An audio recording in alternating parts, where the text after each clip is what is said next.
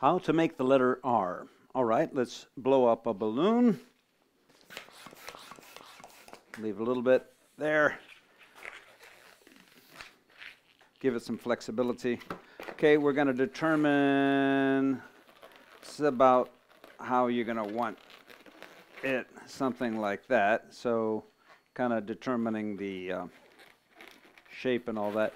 Let's go ahead and make a pinch twist here first uh, to relieve the possibility of it popping. And we're going to make a pinch twist up here. This won't pop because it's got air that's going to, you know, it can go into there as you twist it. Okay, so then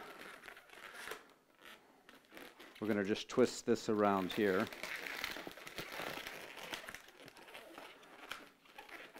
And if that's all you're doing, like you're doing a P, then that's enough.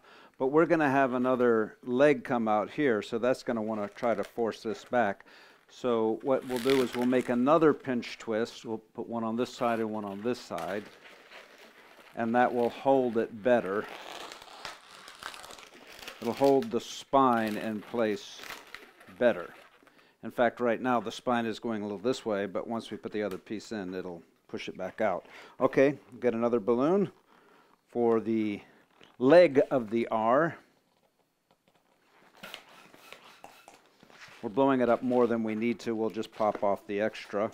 And we're going to put that in there like that. So we'll just take the nozzle and wrap it around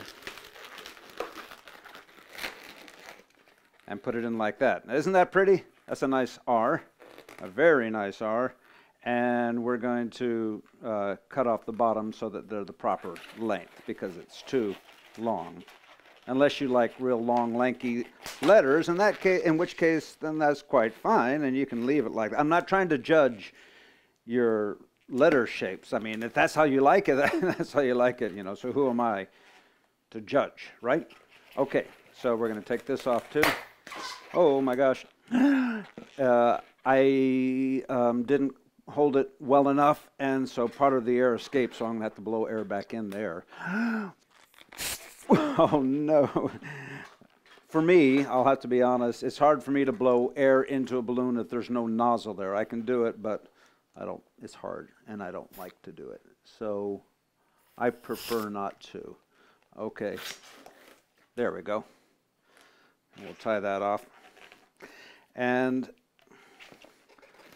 there is a beautiful, a beautiful uppercase R. And now we're going to make the lowercase r, which is very similar to making a lowercase n, but it just doesn't continue all the way down. Um, let's just do it. Here we go.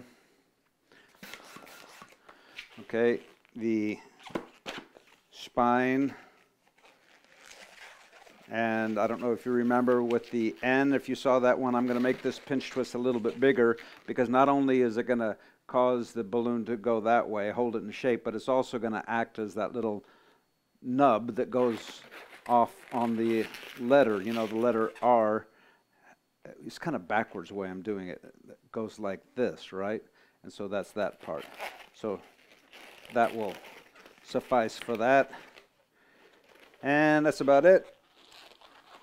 Take it here, twist it, pop it off, tie off that part a little bit more shaping, maybe make it go up a little bit first. Yeah, maybe make that go in a little bit more.